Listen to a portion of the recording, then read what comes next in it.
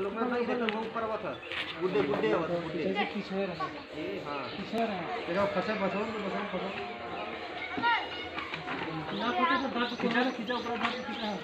बस बस लिया अरे खींचा अरे खींचा ये वही कौन है। बस ये खींचा अरे ओके नीचे दबावा नीचे गिरा दिया बस बस बता दिया दिया दिया